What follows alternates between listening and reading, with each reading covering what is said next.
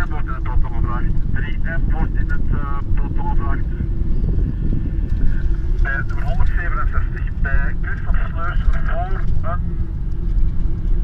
Inderdaad, ik weet het niet. Een technisch probleem.